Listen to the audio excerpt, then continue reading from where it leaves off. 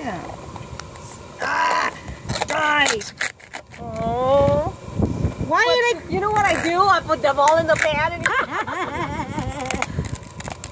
That's what you're supposed to do, Sal.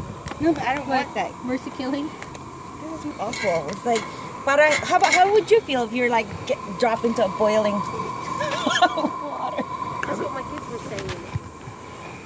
Okay? That's That's a good one, you guys.